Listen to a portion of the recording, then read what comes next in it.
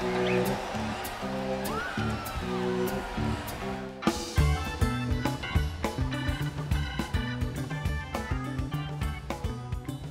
gastropub. Serve new American cuisine. It's a wide range. I mean, honestly, now um, America is such a melting pot of different cultures and people that new American cuisine is really just a blend of everything, and that's kind of what I stick with. I don't try to set parameters for myself or you know, you know, put myself in a box as far as food goes. Driving by Tēla uh, before they opened and saw the sign and knew, I mean, I knew Tēla was a Phish song. I was very interested, and I went ahead and uh, put in my application, cover letter, and all that, and uh, I got that call from Doug. Came on in, and it's kind of been history since then. Going from my cook sous chef and chef, and uh, now being the only chef here for over a year now, it's, it's very rewarding. Doug and Ella worked in the industry a long time together. They had been good friends. Even back then, they had talked about you know eventually owning their own place and you know wanting to do something like Tēla, like the, you know the, the, to bring these to bring these fans together to have a little uh, community of their own.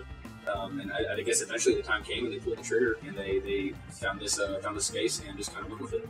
Um, I mean, I remember walking in for my first interview and I was really impressed. I was I realized that was something I wanted to be a part of.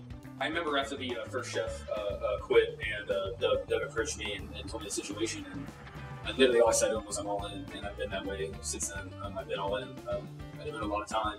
Um, had a lot of a lot of my patience. Uh, Tēla, being a younger cook and after going to culinary school, I was just waiting for that opportunity to, to get to this position now. And uh, I'm, I'm, eternally grateful to Doug and Ella for giving me that chance. When I was younger uh, in high school, my mom worked a lot. Uh, my parents were divorced at that time, and uh, I really enjoyed just being able to cook her dinner. It was nothing special. I mean, it'd be like whatever, chicken breast and I don't know, probably rice roni or something. But my, my effort alone made her really happy, even if it was good or bad. I mean, the effort that I put in, I mean, that's, uh, it, it kind of showed me that, you know, maybe this is something I'd like to do. I really, I've always enjoyed hands-on things, doing things hands-on, and uh, again, I mean, being creative as well. Um, I was never really a great artist, but once I really got involved with cooking, I realized, you know, I just had to find my medium, and I think that's what it is. Food is my medium as an artist. That, that's how I see it. I think that that's how maybe a lot of other chefs see it. And then once I got to a point where I gave cooking that respect, that you know, it's gotten me to a point in my life where I can take care of myself, and at this time, you know, take care of my whole family. Um, it's it's it's pretty awesome. Tēla's located in Miami, Ohio, and I uh, graduated from Miami High School back in 2004.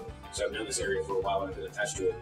Um, and I know the community. Obviously, with our, our restaurant being named after a Phish song, we definitely attract that type of crowd. We attract, uh, you know, fans, deadheads, things like that. You, you meet these people at concerts and things like that, and it's definitely an eclectic group of people. And it's uh, it's cool to be able to bring all those type of personalities to one place.